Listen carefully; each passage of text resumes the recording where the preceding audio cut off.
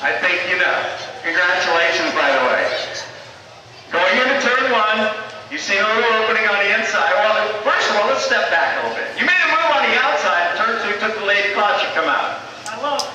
And you showed your hand. So then Paul kind of moved up a groove, and you had to go to the inside. Yeah, he kept cutting me off a little bit. And then I, I knew I had to force it in there. When you got in the turn one, you spun, because you got it a little too hard.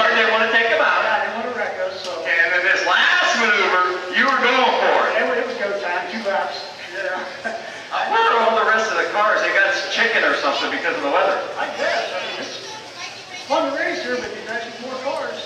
You like this big speedway? Oh, yeah, I love it here. And, you're going average speed of probably about 95 miles an hour, you're about 105, 108 going in the turn. Is it any different than going down the highway at 55? A little bit. A little bit. Anybody want to thank? Well, you know, I don't have any sponsors in there, but uh, the first time I made it, I was, you know, quite a bit. I was this your little one here? Yeah, it was his birthday last year when I won, and it's his birthday tomorrow, so Wow, hey, hey, that's an omen right there. when I race my seven tomorrow. There you go. Congratulations, Jake. Ladies and gentlemen, Jamie Duncan. Let me tell you a little story about him, too. I got a good one for you.